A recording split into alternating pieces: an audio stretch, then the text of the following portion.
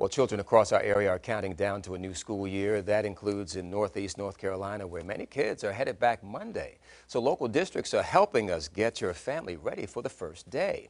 Here are your morning announcements from Burt T. County Schools. Together, we can transport your child to school in a very safe way. Together we can Open our school doors welcome our students to the beginning of a great school year. Together, we can and will build a better Burt team. Welcome back!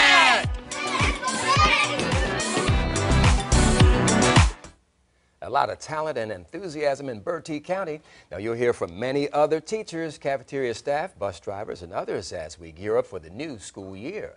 We'll have your morning announcements every day right here on Wavy TV 10 and online at wavy.com. The school systems have really outdone themselves I love with it. these videos. I love to see what they're going to come up with every day. So they get a little bit of time and they squeeze a whole lot of talent into it. Lots of fun too. I mean, it looks like they're having a good time, and hopefully that motivates the students to come back and uh, also has some fun, maybe to start the year, and then and then get serious, and then get into the you know the reading and writing and arithmetic. Yeah, Oh, I there's some good first day of school energy. All right.